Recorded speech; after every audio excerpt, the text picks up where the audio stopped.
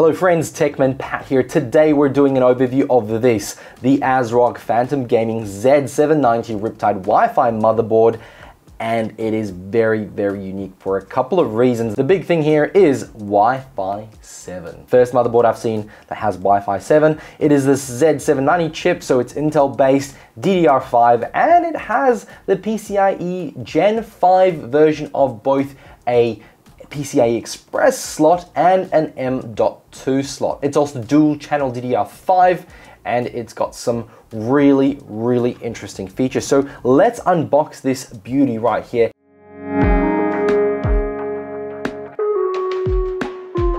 In the box, we have these cables right here. This is actually the lighting cables for your RGB. As you can see, it splits one header into three. On here, we've got a SATA cable and we also have our Wi-Fi antenna, which is always interesting because I want to see if it's proprietary plugs.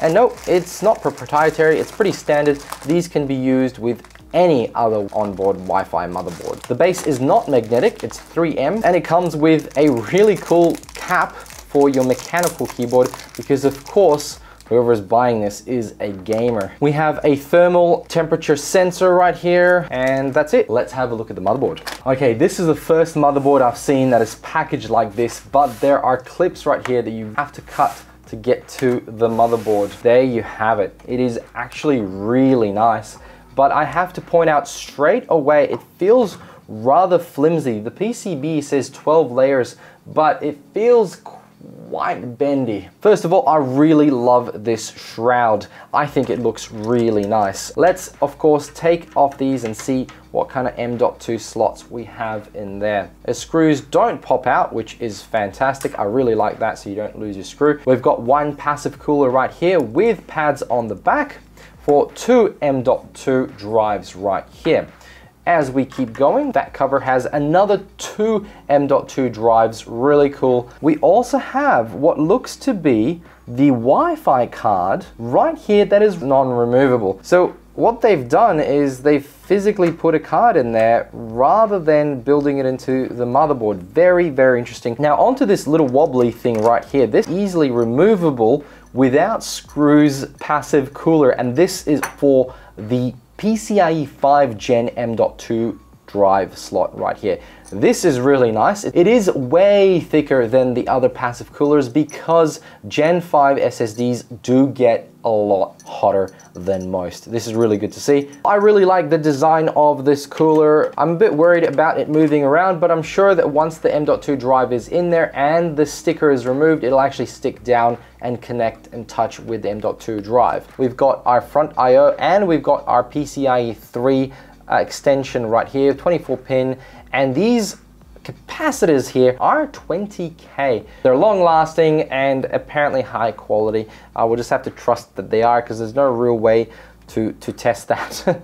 We've got very thick cooling that actually extends over the top of the I.O. here. This seems to just be a sticker on there. We've got four slots for your RAM and I like it when the motherboard manufacturer color codes these but we're supposed to put the RAM sticks in the furthest one away starting from there and then when you add a second RAM stick you put it into the second one here so it's two and two. It is dual channel though if you've got four. The RAM can overclock to 8000 mega transfers Again, if that's important to you, that's really good. From my testing, higher mega transfers don't always translate into frames per second. The PCIe mount right here is actually soldered from the bottom up, which means you won't be able to rip these off which is really, really good. And it is Gen 5, ready for that next level graphics card coming out probably in about 12 to 24 months. Okay, let's have a look at the I.O. We've got a Wi-Fi plugs right here, and the shield here is actually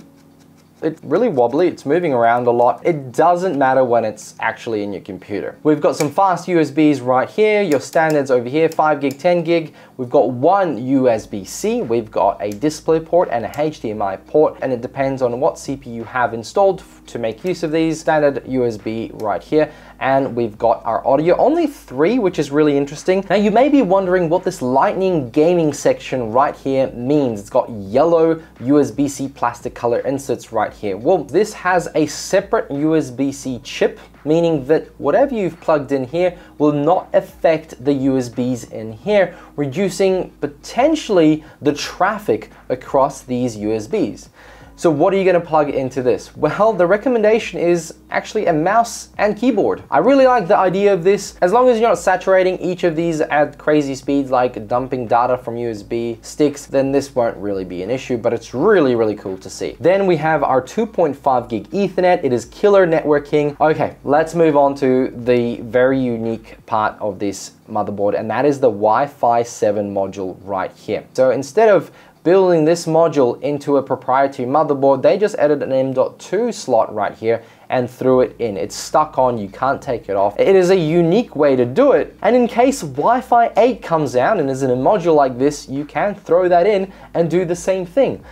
I'm actually inclined to say a few more motherboard manufacturers should do this right now for Wi-Fi 6 and then when Wi-Fi 7 comes around, people can just upgrade because obviously it's still using the same antenna, it's still going to use the same plugs. This would make it upgradable. The more modules, the better in my opinion. On this side, we've got six SATA ports, which is really nice to see. People still use large hard drives for storage. We've got two more SATA ports right here. We've got our HDD lights, your reset and power button right here. We've got our USB 3 headers and we've got our audio header right here.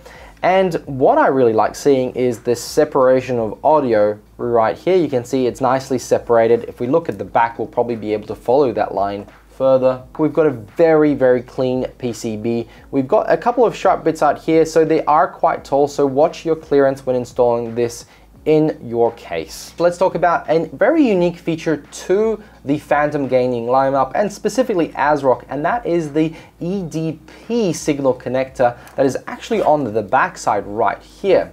This is a ribbon connector for an external side panel that is a screen. If you've seen these really, really cool screens on the side of a case, well, it has its own ribbon cable right here that can connect to the ASRock 13.3 inch side panel kit. To finish off, we've got our Intel CPU right here, 1400K. As is tradition with Intel based systems, you can pop it in, matching the cutouts at top and bottom and when you push this back in, you'll notice that the plastic shroud will pop off and you can finish the clip right here. So very interesting from ASRock and I'm actually really impressed on the quality so far. So overall, this motherboard gets a big thumbs up from me. Highly recommend it. It is a feature-packed motherboard with some really interesting things like that Wi-Fi 7 module. I think the only thing I would change is just the thickness of the PCB and color code these RAM slots. Overall, I really like this motherboard. Based on the price, this is a very, very impressive motherboard. It, I've seen it for about 499 Australian dollars and even cheaper in other places and I have to admit it's a very compelling package at this price. Friends, thank you very much for watching this overview of the ASRock Z790 motherboard. Links below where you can purchase this. Thanks for watching and I'll catch you all in another video. Bye!